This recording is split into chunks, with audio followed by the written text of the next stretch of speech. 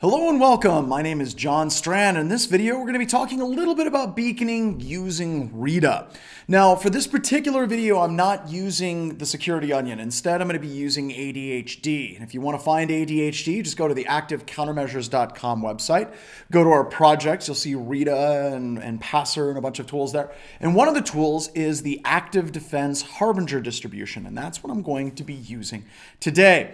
Now, the reason why we're using ADHD is a couple of reasons. One, we have step-by-step instructions on how to use ADHD for this particular video, and we have a PCAP that's already been imported so we can talk about beaconing. So you can actually follow along. Once you're inside of ADHD, the first thing that you're going to be doing is jumping into attribution, and you go all the way down to RITA. Now, RITA stands for Real Intelligence Threat Analytics. If you're looking at what RITA is compared to like AI Hunter or a commercial tool, RITA is basically all of the logic, all of the math, all of the horsepower, all for free. Um, Active Countermeasures, AI Hunter, or Actual Intelligence Hunter is actually the GUI platform, notifications, all the stuff you would expect to see in an enterprise environment. Now, within Rita, we're going to follow these basic instructions. And in fact, I already have ran this.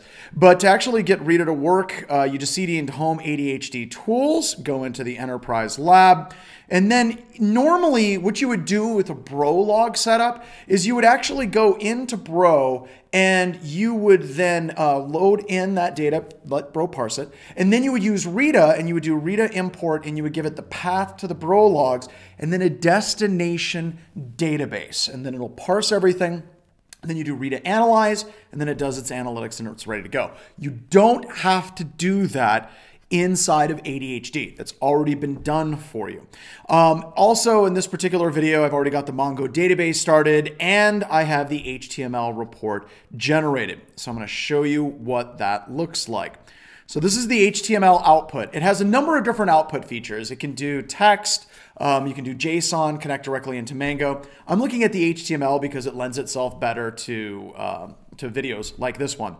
So if we jump into VS Agent, um, this is actually a packet capture for a specific time frame that has been imported by Bro, and then Rita has analyzed it. We have a number of things that we're going to look at, and I'll talk about these in separate videos.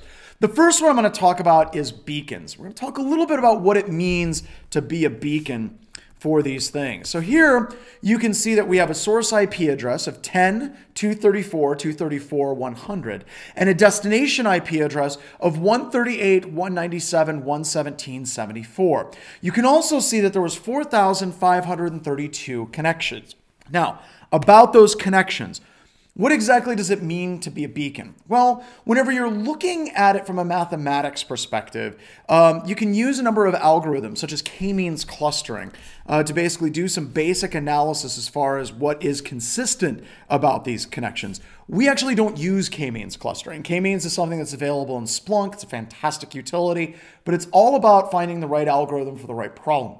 In this scenario, Rita uses MADMOM, median average distribution of the mean. What, what exactly does that mean? Um, so whenever you're looking for a beacon, let's get uh, some philosophy here for a second. Ah, I've got a chair. All right, here we have a chair. How do you know that that's a chair?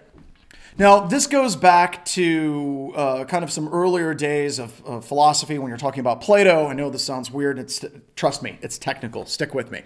Um, and Plato basically said that everything that we have in the world is basically a, an imitation or a shadow of a true form. So somewhere in the universe was a perfect chair, and every other chair was just a variation on that chair. Well, it turns out in computer science, whenever you're doing things like k-means clustering, using artificial intelligence and machine learning, you're doing something very similar.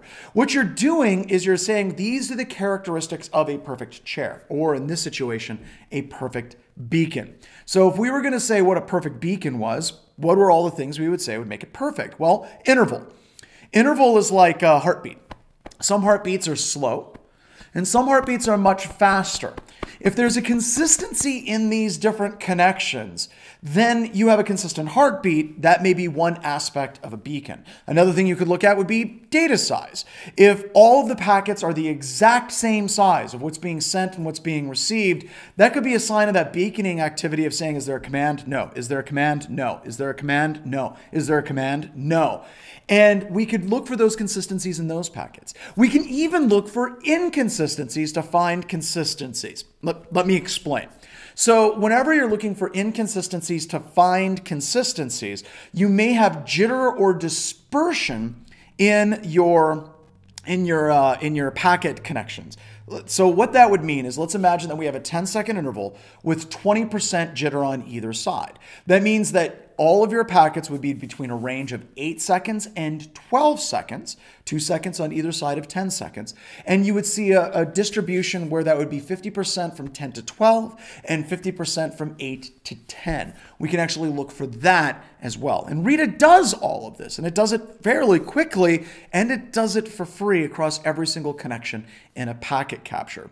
So that's Rita when we're talking about beacons. So ideally what you would do is you would sort this this. You can export it to an Excel spreadsheet if you'd like, and you look at the score. Now, there's a bunch of different systems that have high scores in here, but a couple of things that are interesting.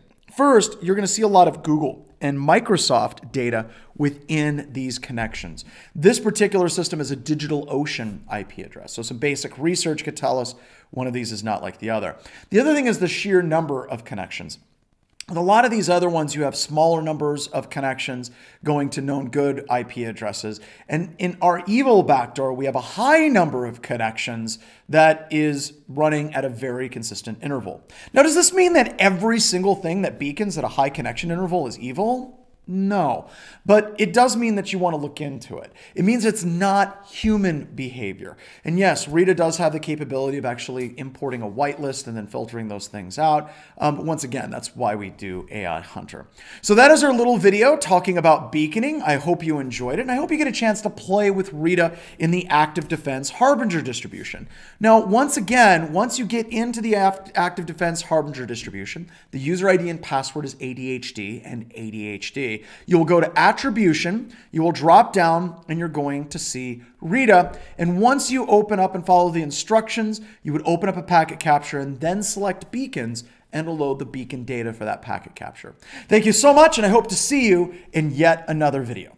This episode was brought to you by Black Hills Information Security, specializing in pen testing, red teaming, threat hunting, webcast, open source tools, and blogs. It was also brought to you by AI Hunter from Active Countermeasures. The AI stands for Actual Intelligence. Need a threat hunting solution for the network? Check out AI Hunter. It is also brought to you by Wild West Hackin' Fest, currently offering conferences in San Diego and Deadwood, South Dakota. To check out the schedule and the speaker lineup, check out wildwesthackinfest.com.